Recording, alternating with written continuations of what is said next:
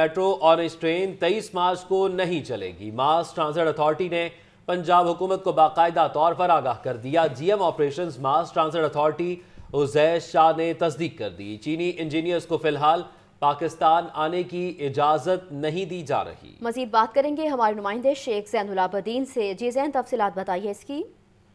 شہر لاہور کا جو سب سے بڑا اور مہنگا ترین پروجیکٹ میٹرو اورنج ٹرین ہے، اس کو باقاعدہ طور پر چلانے کے لیے تیئیس مارچ کی ڈیڈ لائن دی گئی تھی اور اس حوالے سے اداروں نے کام بھی شروع کر دیا تھا، مگر اب یہ منصوبہ دوبارہ سے التوا کا شکار ہو گیا ہے اور ماس ٹرانزٹ اتھارٹی نے باقاعدہ طور پر پنجاب حکومت کو تیئیس مارچ کو میٹرو اورنج ٹرین نہ چلانے کے حوالے سے آگاہ بھی کر دیا ہے، جبکہ اس حوالے سے ہماری G M operation mass transit authority Uzair Shah سے بات ہوئی تو ان کی جانب سے بھی اس عمر کی تصدیق کر دی گئی ہے کہ تیئیس مارچ کو اس اورنج ٹرین کو نہیں چلایا جائے گا بلکہ اس کی بجائے جون کا کسی دن کا انتخاب کیا جائے گا جس میں اس اورنج ٹرین کو عام عوام کے لیے چلا دیا جائے گا تاہم جو ابھی تک تحقیقات کی گئی ہیں اس میں یہ چیز سامنے آئی ہے کہ اورنج ٹرین پر کام کرنے والے جو بیشتر انجینئرز ہیں وہ کرونا وائرس کی وجہ سے ابھی چائنا میں ہی ہیں اور چائنیز انجینئرز کو فی الحال پاکستان آنے کی اجازت بھی نہیں دی جا رہی۔ جو الیکٹریکل اور مکینیکل کا کام ہے یہ انجینئرز کی عدم موجودگی کی وجہ سے نہیں ہو پا رہا، جبکہ جو لاہور میں مقیم چائنیز انجینئرز ہیں، ان کی بھی کرونا وائرس کی اسکریننگ کا عمل جاری ہے، جس کی وجہ سے کام بند ہے۔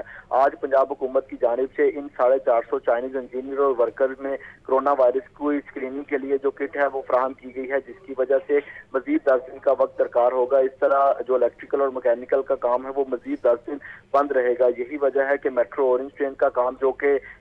جو کہ تیزی سے جاری تھا اور تیئیس مارچ کی ڈیڈ لائن دی گئی تھی، اب اس ڈیڈ لائن کے ڈیڈ لائن کو ڈیڈ لائن پر عمل درآمد نہیں ہو پائے گا اور تیئیس مارچ کو یہ اورنج ٹرین نہیں چل پائے گی۔ تاہم عزیر شاہ کی طرف سے یہی موقع پر تیار کیا گیا ہے کہ پنجاب حکومت نے لاہور میں مقیم چائنیز انجینئرز کی جو اسکریننگ کے لیے کٹ ہے وہ فراہم کرتی ہیں اور اسکریننگ کے لیے ابھی مزید وقت درکار ہوگا۔ لیکن رواں سال ماہ جون میں اورنج ٹرین کو فعال کر دیا جائے گا۔ اس سے قبل مارچ تیئیس مارچ تک اس اورنج ٹرین کو چلانا ماس ٹرانزٹ اتھارٹی کے لیے ممکن نہیں ہے۔ اس کی ایک اور بھی وجہ یہ سامنے آئی ہے کہ ابھی تک جو اورنج ٹرین کا الیکٹریکل اور مکینیکل کا کام ہے وہ ترانوے فیصد ہو چکا ہے اور باقی جو سات فیصد کام ہے وہ ابھی ہونا باقی ہے۔ اس کے علاوہ اورنج ٹرین کو جو متبادل سپلائی فراہم کرنے کا عمل ہے، وہ بھی مکمل نہیں ہو سکا اور ساتھ میں جو لائنیں ہیں